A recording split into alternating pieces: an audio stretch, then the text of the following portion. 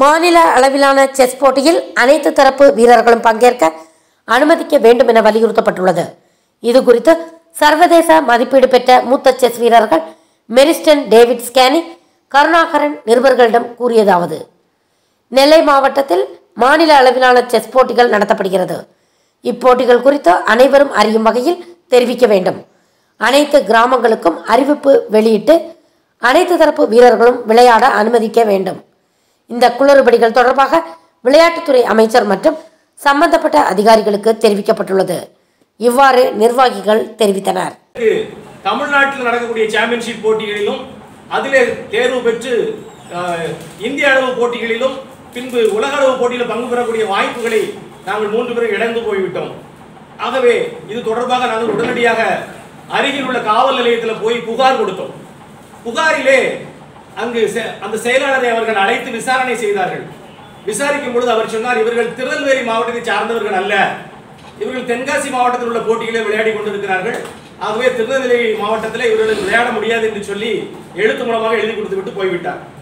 உடனடியாக நாங்கள் அந்த காப்பியை வாங்கி அகில இந்திய செஸ் விளையாட்டு சங்கத்துக்கும் இந்தியாவினுடைய அரசாங்கத்தின் சார்பாக இருக்கக்கூடிய காம்படிஷன் கமிஷன் என்று சொல்லக்கூடிய அமைப்புக்கும் எழுத்து மூலமாக இதை தெரிவித்தோம்.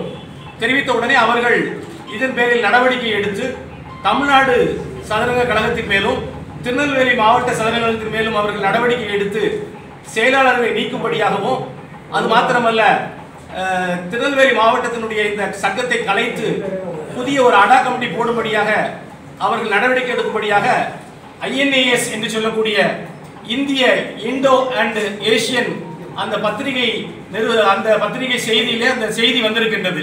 அது மாத்திரமல்ல நாங்கள் தனி மனித உரிமை அடிப்படையிலே இந்தியாவில் இருக்கக்கூடிய இந்த நீதிமன்றத்திலும் இதை குறித்து நாங்கள் அங்கு புகார் கொடுத்திருக்கின்றோம்.